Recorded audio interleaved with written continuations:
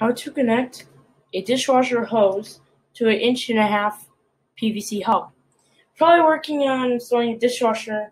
Probably have a wire like this attached to your P-trap. But how do you connect your dishwasher hose to it, okay? There's a big gap.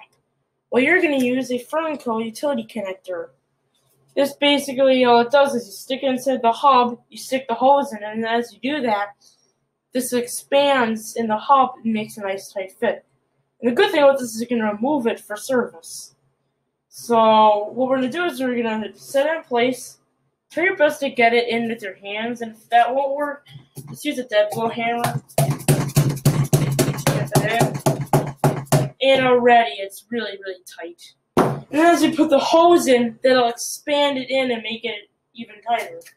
I take your hose, and we simply just stick that in. There. Now you can, of course, adjust that to any angle you need.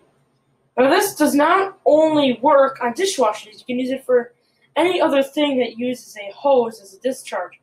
You could you could use this on a AC condensate. Okay, anything like this, this will work. That's pretty much it for this video. Thanks for watching. Hope you can watch more and please subscribe.